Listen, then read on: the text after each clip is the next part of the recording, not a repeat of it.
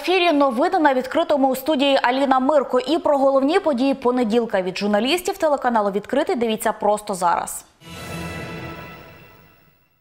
Поблизу Дніпровської політехніки відновлять рух транспорту.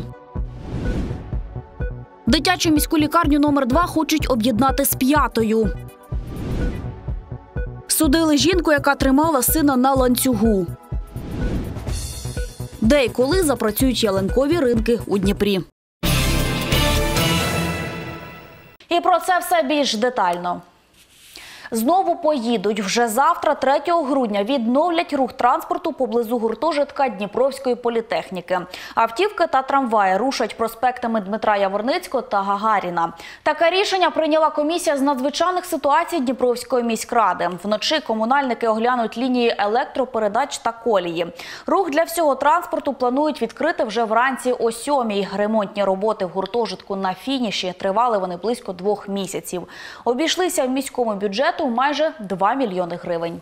Статус чрезвычайной ситуации снят, и теперь э, работники политеха, их персонал технический может, так сказать, находиться в здании и осуществлять другие там, ремонтные, косметические работы, восстановительные работы, связанные с ремонтом помещений, там, где проводились эти работы.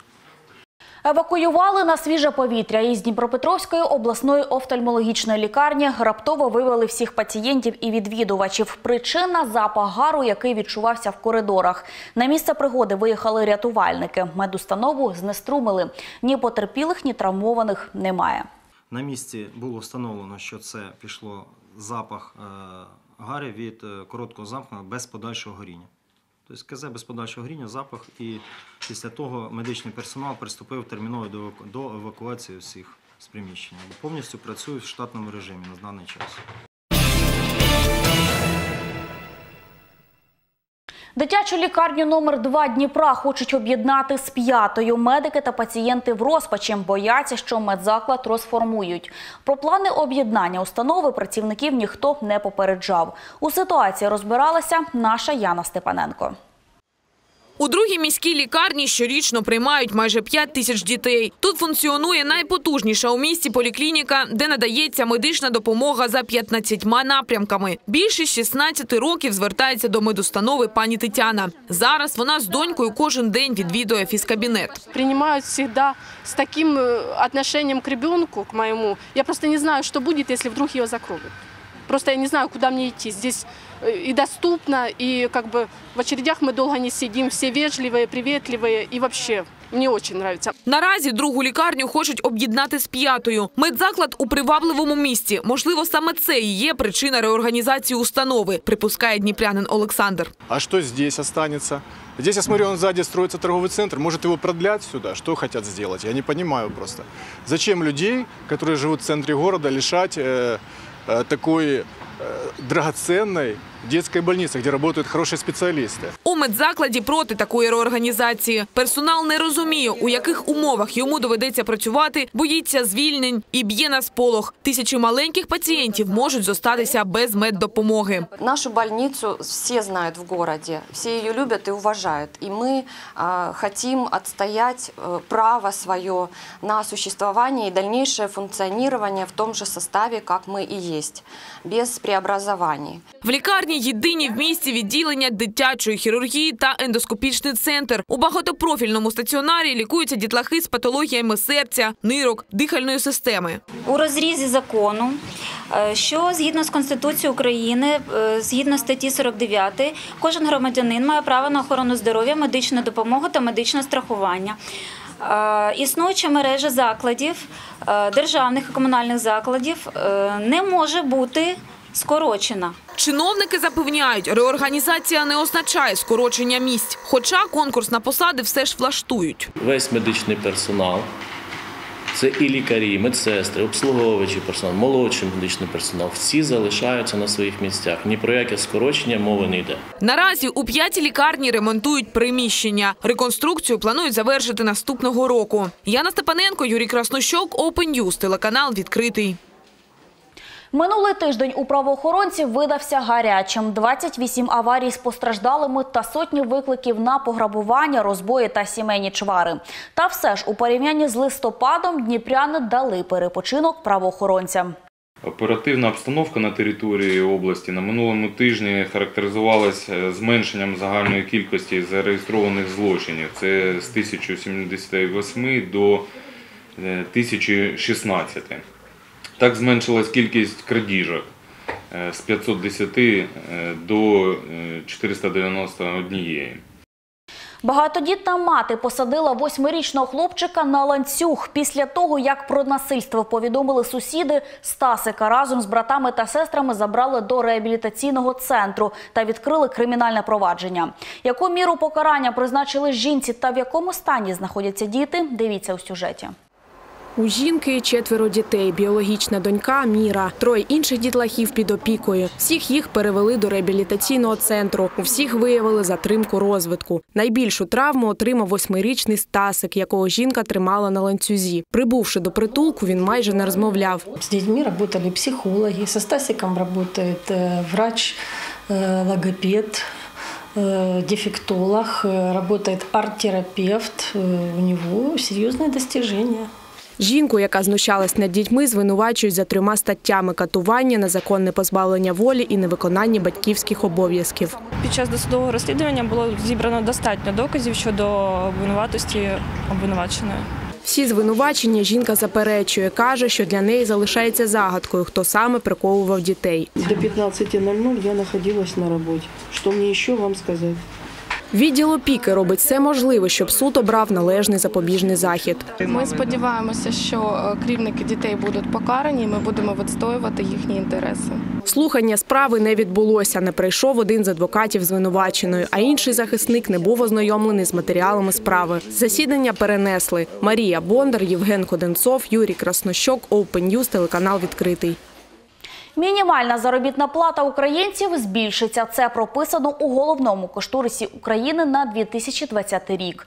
З 1 січня вона виросте на 550 гривень і становитиме вже 4720 гривень. Економічні експерти ж застерігають, підняття мінімалки може негативно вплинути на робочий графік українців. Будемо бачити те ж саме скорочення, те ж саме переведення людей не на повну ставку, а зменшення фінансування їх видаткової частини. І це буде певною проблемою, особливо перший квартал 2020 року, тому що, як правило, е, січень та лютий е, різних періодів, різних років е, наша країна вона не активно розвивається, а вона, так як то кажуть, спить.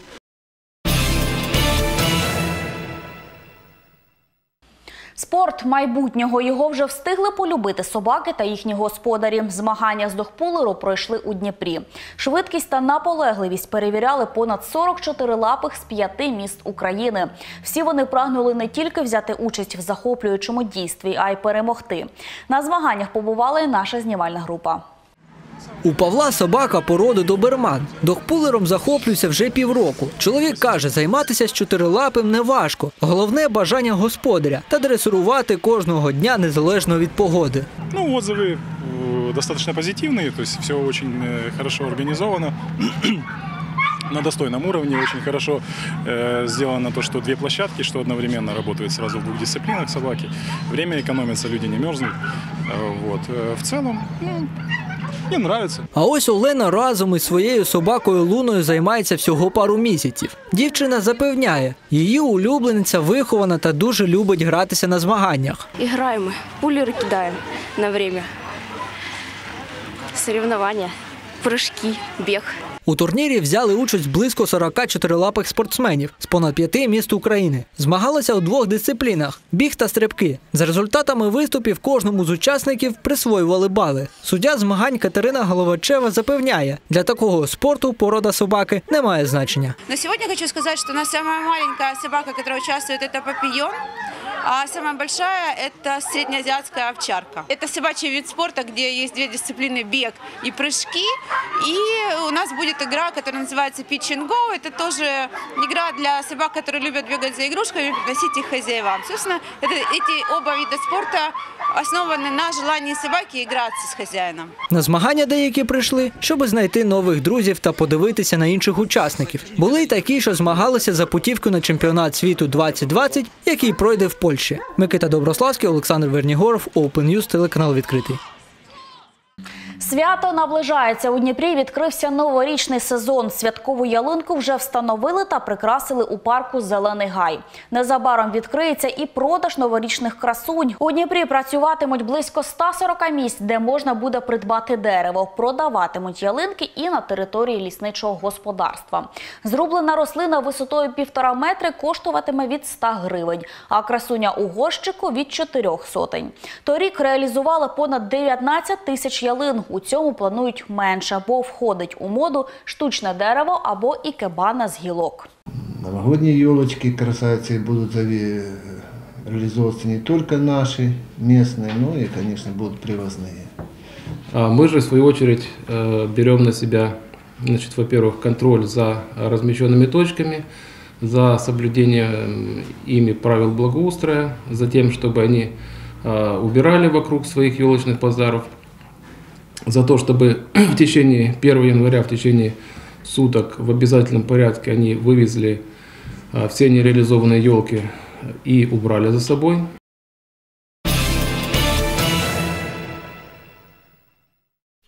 А чи добре ви вели себе цьогоріч? Якщо так, до вас скоро завітає Святий Миколай. У Дніпрі вже працює фабрика подарунків для діток із малозабезпечених сімей, батьків атовців та сиріт. Фабрика Миколайчиків працює вже 10-й рік поспіль. Зараз з нами у студії її засновниця Ніна Медведєва. Вітаю вас, Ніно. Доброго дня. Розкажіть, коли ж стартуєте із подарунками, так і що плануєте охопити за ці два тижні? Е, Подарунки до діток поїдуть вже 19 грудня. А починаємо ми їх формувати заздалегідь для того, щоб приготувати для кожної дитини особисто подарунок. Фабрика Святого Миколая відкривається цього року, 9 грудня, е, у приміщенні е, допомоги Дніпра, е, та яка біля вокзалу. І будемо ми впродовж 10 днів пакувати подарунки. Близько 2 тисяч дітей сподіваємося привітати цього року. Що це будуть за подарунки? Е, от е, що туди буде входити, так і хто саме буде їх пакувати? Е, Пакують, так як і розвозять подарунки, наші волонтери, помічники Святого Миколая. Кожен подарунок складається із трьох складових. Обов'язково ми кладемо солодощі, обов'язково якесь, якесь канцелярське приладдя, це має бути якийсь набір такий, і обов'язково будемо класти якусь іграшку, або ж це, якщо для дорослих більш діток, це може бути якесь спортивне приладдя або прикраси для дівчаток, щось таке. Е, Волонтери пакують подарунки особисто для кожної дитини, враховуючи її вік та стать, і, можливо, якісь навіть уподобання, якщо ми про них знаємо. Скільки у вас зараз волонтерів? Е, Скільки маршрутів по Дніпру у вас заплановано? Заплановано близько 40-50 маршрутів, в залежності від е, того, е, скільки часу зможе кожен водій приділити розвезенню подарунків. І волонтерів наразі маємо близько 100. Сподіваємося, що за цей період до 19 числа, навіть там до 9 збільшиться кількість волонтерів вдвічі. Угу. А, як саме буде працювати фабрика? От приходить волонтер до вас, і що далі? Тобто, які є види роботи? Е, Дивіться, фабрика, чому вона називається фабрика? Вона схожа на такий невеличкий конвейер. Е, Коли людина приходить, приходить невеличкий вишкіл е, і збирає подарунок за секторами. Отримує пакет, на якому написаний ім'я дитини, її вік та можливі уподобання. І у цей пакет вона волонтер складає саме ті подарунки, які він вважає е, захоче отримати ця дитина. Е, Дуже допомагає у цьому у цій роботі уявити собі, а що ж хотіла б ця дитинка, а як вона виглядає, чим можливо вона захоплюється. Е, І тоді дуже легко скласти подарунок, урівноважити його по е, кількості предметів, там по тому, а якщо є у дитинки там сестри, брати, тоді ми кладемо щось різне для того, щоб вони ділилися між собою і гралися різними подарунками. Угу. Я знаю, у вас вже пройшло два благодійні концерти. Коли це було? Що за концерти, і скільки вдалося грошей зібрати? Е, Дійсно, два концерти були дуже цікаві тим, що вони були різнопланові. Перший концерт він був у форматі е, ранкового такого концерту з е, какао, з млинцями. Це прийшло у гончарній майстерні Горбаня і було 24 листопада. Дуже була така камерна атмосфера. Грали ми е, акустичний концерт. Було е, чотири учасники, е, п'ять навіть учасників, е, і е, всі вони грали таку різнопланову музику. Е, Другий концерт у нас проходив вже в е, повному е, звуці. Це був е, концерт в пабі Махно. Е, Там було чотири е, колективи, які виступали. Е, І е, за е, ці чотири колективи вони грали більш таку серйозну, важку навіть музику. Це був концерт у повному звуці. Е, За ці два концерти нам вдалося зібрати 16 тисяч гривень. Е, Це повний рекорд за наші всі 10 років. І мені дуже подобається, що прийшло дійсно дуже багато людей, дуже багато шанувальників і акції, і шанувальників саме такої музики. Е, І гурти дуже от так тепло відгукнулися. Чому ми зібрали два концерти? Тому що було дуже багато гуртів, які дійсно хотіли грати і дійсно хотіли таким чином долучитися до благочинності. Угу.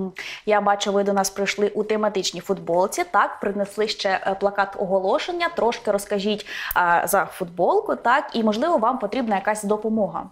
Е, Дивіться, цього року 10-й рік, і ми вирішили якось трошки святково е, зустріти цей 10-й рік, тому дуже-дуже багато активностей якихось підготували. Наприклад, е, ми випустили ось такі брендовані футболки. Для дівчат вони от з дівчиною, а для хлопців вони з козаками, з хлопцями.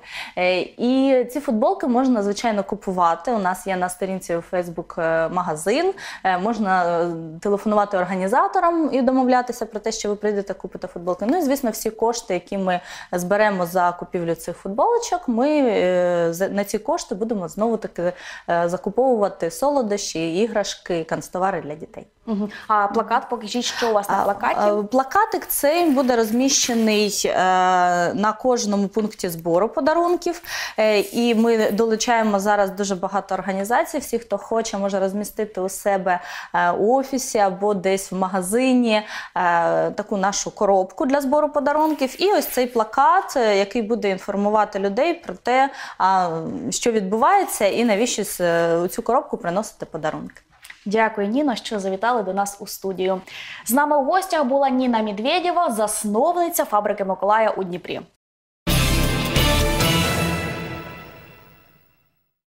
Українські жіночі костюми, які були в моді 100 і навіть 200 років тому, тепер намагається зробити їх популярними Валентина Бєлік. Деталі в нашому сюжеті.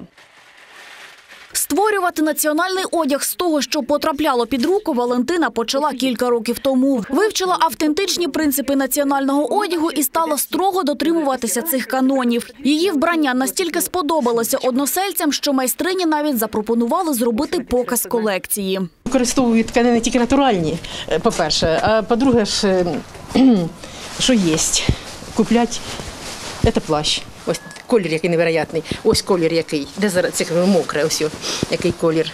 З пальто корсети, з брюк пояси із шахтарської натільної білизни спідні довгі сорочки. Перед тим як створити цілісне жіноче вбрання, Валентина Бєлік все продумає до дрібниць. Комбінує тканини, підбирає декор і фурнітуру. Каже, все повинно бути гармонійно. Одяг робить символічними оберегами. Червона калина. Ось чорний цвіт. Це цвіт землі. Це батько, це багатство, достоин, достаток сім'ї. Ось червоний колір, ось і ось. Це мати, це любов. Ось білий колір, це дівчина, яка росте в цій любові. Майже все майстриня шиє вручну. Вишивати сорочки допомагає дочка. Зараз у колекції 13 нарядів. У кожного своя назва. А це любисток пахучий. Перший зробила для себе, розповідає майстриня. Потім не змогла зупинитися. Шила заради задоволення. Іноді наряди приміряли подруги. На мене подивись. Так, Люда, тепер не з тобою роботи і роботи. Ну так. Ну я ж я ж пер, перший раз в, м- в, в манікенчі. А у мене серце розривалося. Кажу, не може бути, каже Олексіївна, це повинно цю всю красу бачити люди. Я кажу, давай хоч виставку роби, хоч іди що-небудь. Колекцію старовинного одягу побачили співробітниці Миколаївського будинку культури і запропонували Валентині Бєлік зробити справжній показ. Знайшли модели підібрали музику. А дівчата 15-річні, після рваних джинсів, як вдягли такі костюми, вони кажуть, Фукали спочатку, ой, ми не будемо це вдягати, а це таке у нас ось, ми не будемо. Поки смотримо, треба, щоб модно було модно. Ну коли вони вдягли, ось тут вони у нас фоткались кругом. Заплели коси. Е, що, ми набрали стільки лайків, це так класно, це так круто. Вже зараз свою колекцію Валентина Бєлік оцінює в 100 тисяч гривень, але продавати наряди не збирається. Навпаки, планує шити й далі, щоб радувати українським етнічним одягом себе і оточуючих. Аліна Мирко, Микита Сідненко, Open News, телеканал відкритий. Мокрий сніг, туман та ожеледиця на Дніпропетровщині оголосили штормове попередження. Пориви вітру до 20 метрів на секунду. Температура повітря вночі до мінус 5.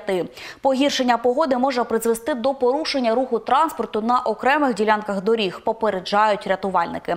І закликають водіїв бути обережними. Та вже за кілька днів очікується потепління.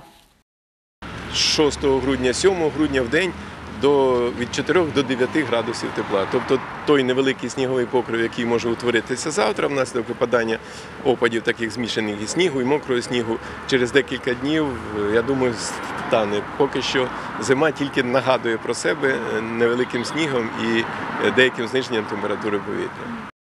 Більш детально про погоду дивіться одразу після випуску новин. А на цьому в мене поки що все. Більше новин читайте на нашому сайті opentv.media. Залишайтеся з відкритим і до зустрічі у наступному ефірі.